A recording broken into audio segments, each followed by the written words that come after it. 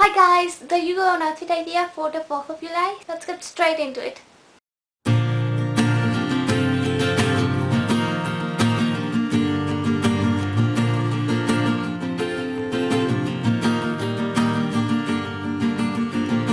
Holding hands and making plans Telling stories to crazy fans Tickling backs, kissing necks Always and I'm losing my specs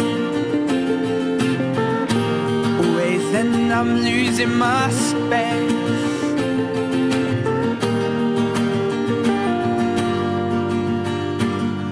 Then I'll hold you tightly So that was my outfit idea for the 4th of July. If you liked it, give it a thumbs up and subscribe. And thank you for watching.